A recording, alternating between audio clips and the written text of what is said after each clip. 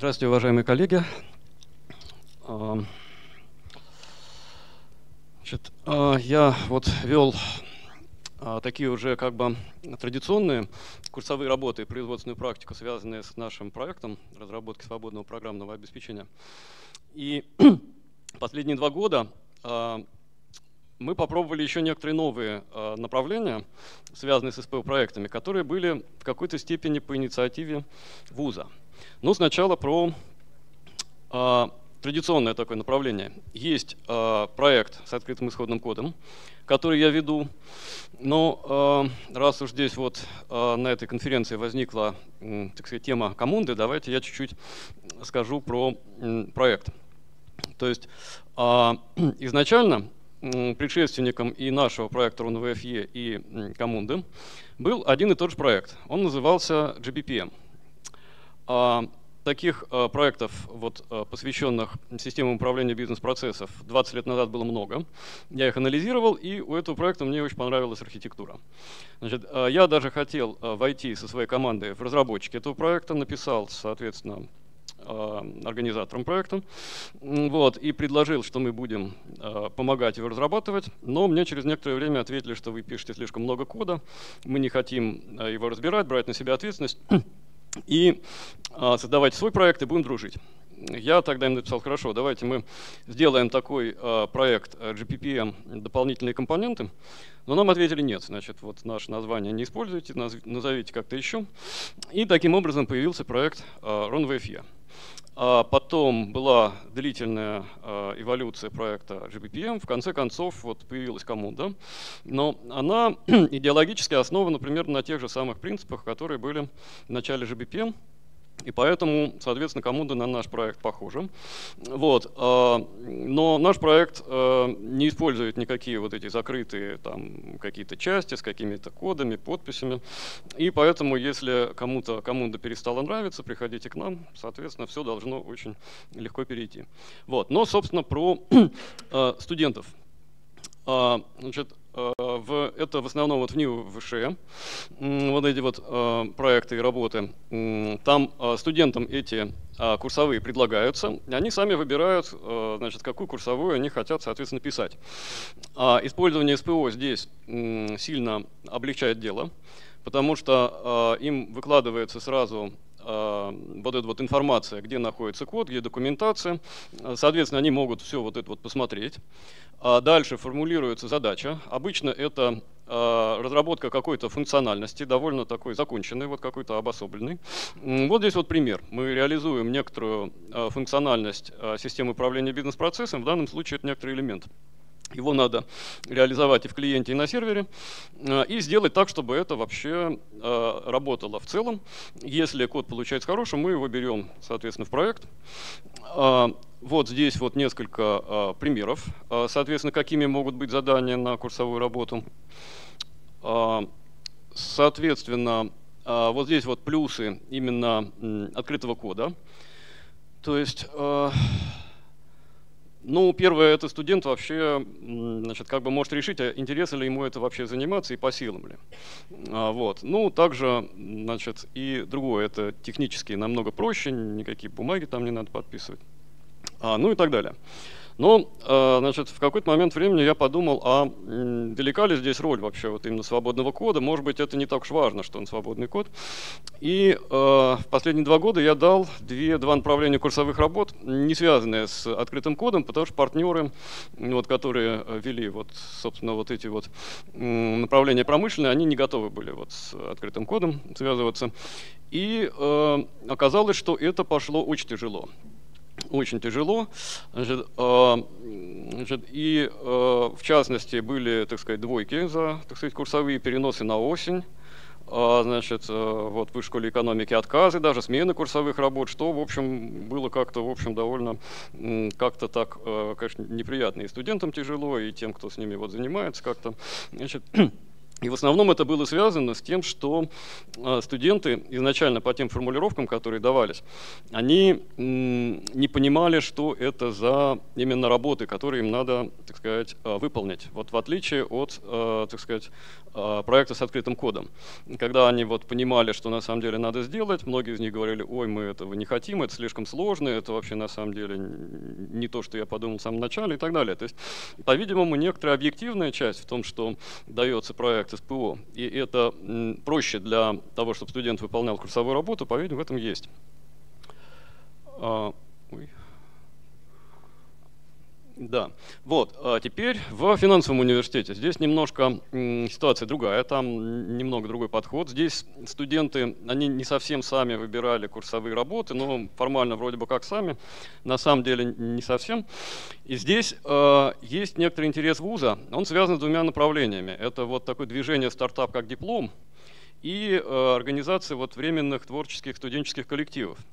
И, соответственно, в обоих э, случаях я предложил это сделать а, при помощи СПУ.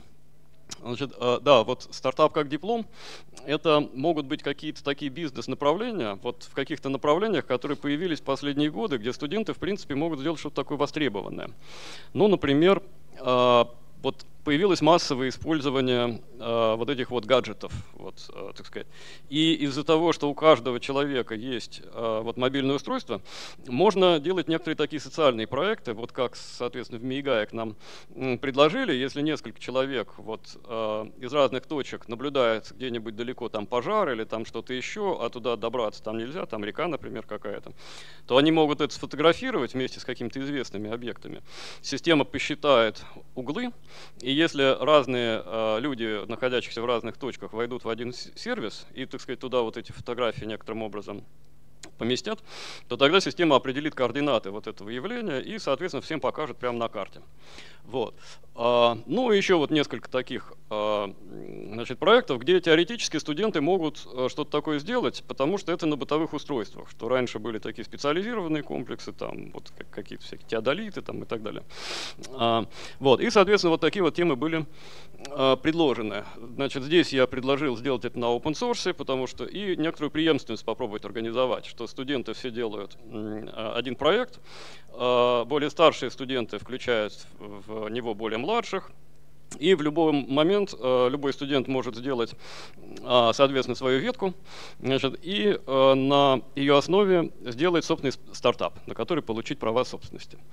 Вот, значит, но и вроде бы такое интересное, так сказать, направление там, но э, результаты, значит, как-то оказались, в общем, сложными, потому что там вот студенты, они вот всячески старались от этого как-то откосить, вот получить свои баллы, отметку и вообще, так сказать, об этом забыть и больше не вспоминать. И вообще что-то их не, не волновало, ни эти, ни стартапы, ни, так сказать, там вот.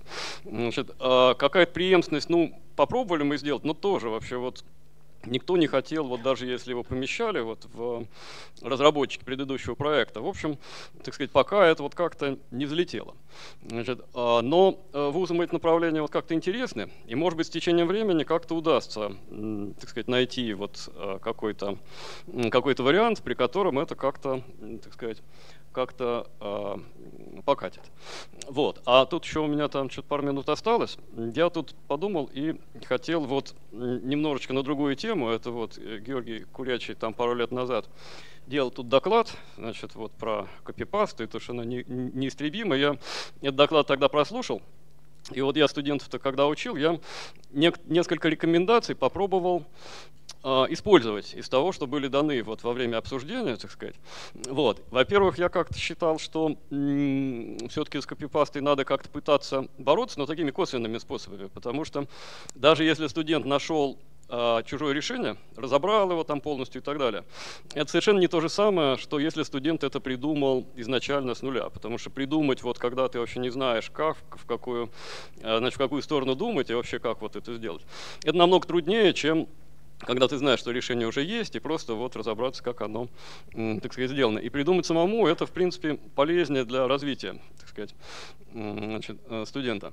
А, вот, значит, в частности, я здесь э, брал какие-то задачи классические, но давал их в неклассической постановке с какими-то особенностями, так, чтобы а, классический алгоритм, чтобы его было недостаточно реализовать. И вот, что-то у нас тут... Да, а, значит, вот здесь вот э, примеры э, результатов выдачи студентов для последовательности цепочки решения задач. Вот классический алгоритм дает а, первый, э, первое число, это семерка. А вот остальные ответы – это некоторая модификация вот этого вот алгоритма, которая не классическая. И, соответственно, вот здесь вот достаточно хорошо ловится э, заимствование. При этом мы можем здесь примерно так вот оценить, вот какой процент студентов, которые, так сказать, не самостоятельно решение делают, а как-то заимствуют. По расспросам студентов, значит, э, значит, они говорили, что значит, для решения, вот, они обращались к искусственному интеллекту, утверждают, вот там студентка пишет, я ни у кого не списывала, я делала сама, но потом выяснилось, что она, значит, все это закинула чат GPT, вот, и другие студенты тоже некоторые закинули чат GPT, и он им дал один и тот же алгоритм, который, соответственно, вот здесь вот ловится, потому что он был неправильный. А кто-то говорил, что он на Stack Overflow нашел там код какой-то, вот, но, соответственно, вот э, в некоторых случаях Значит, э, вот как-то это поймать можно. Как-то это поймать можно. Ну, собственно, у меня все. Я вот готов э, ответить на вопросы. спасибо большое. Можно задавать вопросы. Андрей, спасибо за доклад. А, у меня и, собственно, и к финансовому университету, и к диплому а, как стартапу ровно один вопрос. А детям кто-то пытается объяснить разницу между целями и средствами? Потому что в итоге получаются взрослые дебилы, которые деньги, которые в русском языке называются средства, принимают за цели. И которые да. творят совершенно чудовищные вещи в погоне за тем, что является средством для человека, который хоть на ногах, а думает головой, сейчас, а не наоборот. Сейчас. А, финансовый университет, он очень большой. Значит, там есть, я, я к тому, что вот кто-то им пытается на этих примерах, вот, а... что смотри, ты спишешь, чему ты, этим, чему ты научишься этим, с чем ты отсюда выйдешь, за что ты заплатил своей жизнью, пятью там, там несколькими годами. Там если вот заочники, вечерники, они многие говорят, знаете, мне вообще все это не нужно, мне вот нужен диплом, значит, желательно Зачем? диплом, диплом айтишный, чтобы меня не призвали вот куда всех э, призывают, а с дипломом айтишника не призывают. И вообще мне нужно высшее образование, а я уже работаю, занимаюсь другим, и значит, вот, так сказать. Я говорю, слушайте, ну пошли бы вы вообще вот просто в другой вуз учиться там и так далее. Они говорят, а мало где есть э, заочное отделение, вот, так сказать, мне удобно, так сказать, и типа я плачу вообще большие деньги, и типа вот не, не трогайте меня, и вот вообще, так сказать. Но это вот есть часть такая студентов, там тоже есть. Гоша. Меня но, но, но финансовый университет большой, есть же там финансисты настоящие, а это кафедра анализа данных и машинного обучения вот, айтишного факультета. У меня вопрос такой комбинированный, он буквально еще обращенный к предыдущим докладчикам получается. Может быть, э, с вашей стороны вы можете прокомментировать этот момент, что, возможно, и в вашем университете есть те же самые направления бизнес-информатики, причем они разные, вот ребят показывали, что там разные направления. Есть, а, да. Я вот не услышал как раз ничего такого, чтобы использовались вот такие вот бизнес-процессы в направлении эти бизнес-информатики. У вас э, такие направления, они к вам приходят, чтобы взять... Да, за... сейчас, но подождите, вот это другие студенты, вот это вот разработчики, это программисты. Я еще веду у бизнес-информатиков в основном в МИСИСе, но в финансовом университете я у бизнес-информатиков тоже иногда провожу вот, там мастер-классы. Но это другое, это построение бизнес-процессов и так далее. Это разные специальности, там, так сказать, разные приемы и так далее. Вот это так, вот про программистов. Я и говорю, поэтому вопрос комбинированный. Есть ли какая-то комбинация между э, программистами, которые делают сами возможность создания этих бизнес-процессов, и теми, кто использует эти бизнес-процессы в качестве создания бизнес-процессов?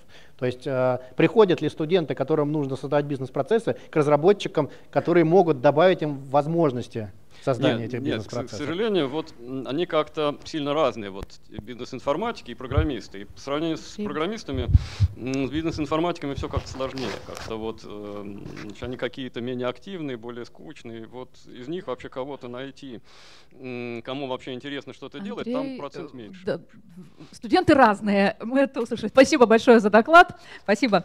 А,